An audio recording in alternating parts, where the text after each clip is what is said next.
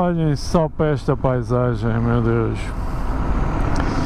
Isto também é uma estradinha que eu já fiz milhares de vezes, milhares de vezes também. Muito boa durante o verão, algum gelo durante o inverno, mas calminha, praticamente não tem trânsito, um bocadinho de areia nas curvas às vezes, mas super, super calma, praticamente sem trânsito. Cheirinho a natureza aqui também, incrível.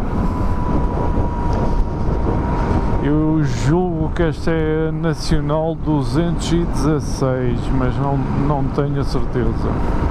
Isto é uma paisagem, podem ver também, para pessoal motar, é do melhor também. Calminho, convém não abusar, mas dá para desfrutar e muito. Paisagem incrível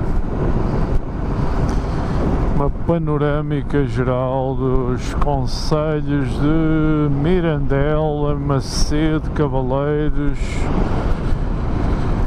Terra Quente e Terra Fria. Incrível. Olhem só para isto. Olhem só para isto, meu Deus. Que cheirinho a urze acho que é assim que se chama. Aqui é uma descida bastante acentuada, convém ir com muito cuidado. Lá ao fundo é a Torre Dona Chama. Aqui é uma, uma descida muito íngreme, convém ter atenção, fazer isto devagar.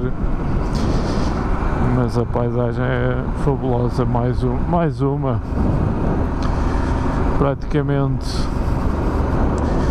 sem avistar um carro, nem uma, uma moto, nada.